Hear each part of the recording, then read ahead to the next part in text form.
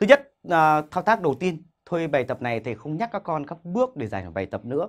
Mà ở phần đầu tiên này, thầy muốn tóm tắt cho các con công thức liên quan của cái dạng bài tập này. Thì thực ra thì bài này là bài mà bài tập áp dụng định luật Joule-Lenser thì tất nhiên cái công thức cơ bản của chúng ta phải là công thức của định luật Joule-Lenser. Và công thức này các con biết rồi, Q thì bằng y bình phương nhân với R và nhân với với T.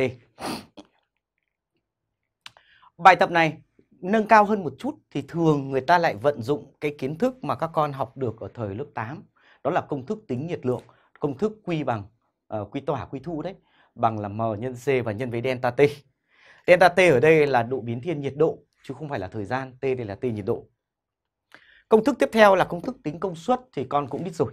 Công suất thì có thể tính bằng một vài công thức, có thể P bằng Y bình phương nhân R hoặc là U bình phương chia cho R hoặc là uh, uh, gì nữa nhỉ? U nhân Y. Đó. Đây, ta có thể tính bằng công thức này. Và công thức tính điện năng tiêu thụ thì giống hệt công thức tính công suất nhưng mà về nguyên tắc ta nhân thêm T. Có thể là bằng UIT này bằng Y bình phương nhân R nhân T này hoặc là U bình phương chia cho R và nhân với T. Tức là giống hệt công thức công suất nhưng mà thêm T vào.